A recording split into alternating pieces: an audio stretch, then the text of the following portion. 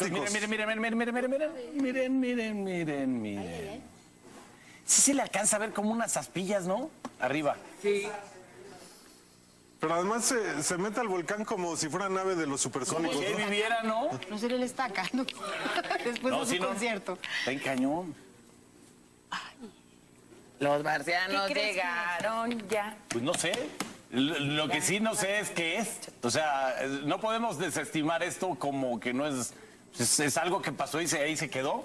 Pero Pero, ya- un objeto de ya decir que es un extraterrestre, eso es otro cantón. Háblele Lo que pasa es que no sabemos la distancia que hay en realidad. Pero llevan varias veces, ¿no? Que suceden. y tenemos imágenes similares a esta. Sí, nomás que te voy a decir una cosa. dando la Esta está vuelta. clara. Estamos viendo el- la proporción del tamaño del cráter. Este ocupa como una... Nada. un- no, por eso, un 2% del, del... de- Pero es una cosa muy grande, Lalo, no es una cosa pequeña. Debe de ser Claro. muy grande, claro. Lo que Porque pasa para- es que si en aún está realidad atrás, si todavía está atrás del volcán, quiere decir que, que es más grande. Sí, claro. O sea, que es más grande de lo que nosotros estamos viendo. Pero ve, ahí cómo llega, es, es, es importante. Necesitamos hablar con Maussan, por el amor de Dios. sí. Urgente. Oye. Oye, rápidamente. es-